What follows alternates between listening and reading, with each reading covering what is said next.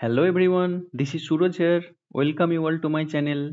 Today I will show you how to provide cross-account S3 bucket access to an EC2 instance without using STS assume role. See here, in account A one EC2 instance is there and one IAM role is attached with this EC2 instance. And in account B one S3 bucket is there and corresponding bucket policy is attached with this S3 bucket. So we will access objects within this S3 bucket from this EC2 instance in another account. Fine. So let's go to AWS console so that we can see how we can do the configuration. I am in AWS console now. Just check the AWS account number. So consider this account number as account A. Fine. So in account A, we will create one EC2 instance. Click on instances, launch instances, I will name this instance as demo EC2 and instance type is t2.micro okay? And in key pair I will choose proceed without a key pair. And in the network setting I will select one existing security group. That is the default one. Fine. Now launch the instance. Now see our instance is running. Fine so I will create one IAM role for the EC2 instance. IAM, click on roles and create role and here I will choose EC2. Next, create policy. So what is the service? Service is S3 and what are the actions we want to allow? List bucket get object and put object. And in the bucket see we need to specify bucket arn for the list bucket and object arn for get object and put object. So i'll add the bucket name. So what will be the bucket name so bucket name is the bucket name of account B. So I will go to account B and we'll click on S3. See here only one bucket is present in account B. Just check the account number. So this is different account. So I will copy the name. This is the name and here I will paste this. Add ARN and in the object ARN I'll write bucket name and object will be any object that is star. Add ARN, fine. Next, and I will name this policy as cross account S3 policy. Fine. Create policy. It is now created and click on roles. I'll refresh this. And here I will choose that same policy. Cross account s3 policy. This is the one. Next. And I will name this as cross account s3 role. Create role the role is now created. I will go to the EC2 instance and we'll select the instance go to actions security and modify IAM role. And here I will choose this cross account S3 role right? And update IAM role. Now I will select the instance and we'll try to connect to this instance. So click on connect connect.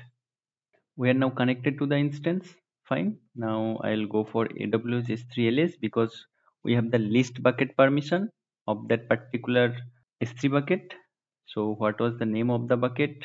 I will copy this AWS S3 LS, the bucket name. Fine. Enter. See, an error occurred and we are getting access denied error. Why? Although we have given the IAM policy so that the EC2 instance can access the S3 bucket present in account B, it is not able to access that one because that S3 bucket is there in another account. So for that, what we need to do, we need to attach one bucket policy with that particular S3 bucket so that it can allow access to this IAM role which is attached to this EC2 instance. Fine. So let's go to the S3 bucket. So we are now in account B and I will click on this bucket, go to permission and bucket policy. Click on policy generator. So I'll choose S3 bucket policy and in principal I will write star for now. After that I will modify it and in the actions I will choose get object, put object and list bucket. Get object, yes, get object, list bucket and put object. This is the one. Okay. So what will be the ARN? The ARN means the ARN of the S3 bucket. So let's copy the ARN this is the ARN and see we need two ARNs one is bucket ARN another one is object ARN but here we have only one option. Fine. So let's keep it for now and we'll modify it later. So add statement generate policy. So this is our policy right? So now we need to modify the resource so I need to add the object ARN also. So comma and here within double quotation I'll write the object ARN right? So s3 bucket arn slash star okay? And what will be the principal so the principal will be the IAM role which is attached to that ec2 instance okay? So we need to write like this within curly bracket it should be aws colon then within the square bracket within double quotation we need to provide the role arn so let's go to account a. IAM role and i will search for this cross account s3 role right? So this is the arn and i will paste here. Fine. Now everything looks good. I will copy this and paste here in the s3 bucket policy. Fine so save changes. Okay. It's now saved. Now i will go to the ec2 instance in account a and see if I run the same command aws3ls the bucket name see it is showing nothing. That means nothing is there inside that bucket. Let me check. Go to objects. See nothing is there. Let me refresh it. Nothing is there. Okay. So what we will do? We will create one file echo. Hello world. Demo.txt echo hello world greater than demo.txt okay. Ls-l see demo.txt file is there. So i'll copy this file to that s3 bucket. Aws s3cp demo.txt s3 colon slash slash the bucket name okay fine it's now uploaded let me check here see it's now uploaded fine now I will list the S3 bucket. Let's see AWS S3 ls the bucket name. Now see this file is there. It is now showing. Okay. Let's remove demo.txt from the local system and download it from the S3 bucket.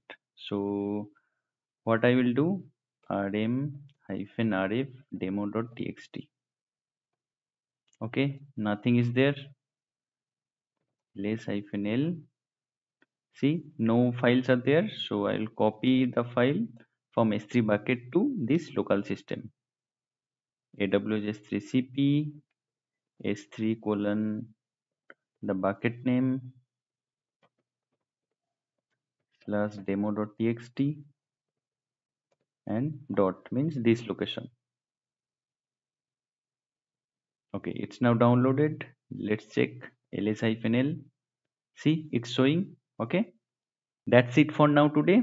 We'll see you in the next video. If you really like this video kindly like share comment and subscribe. Bye bye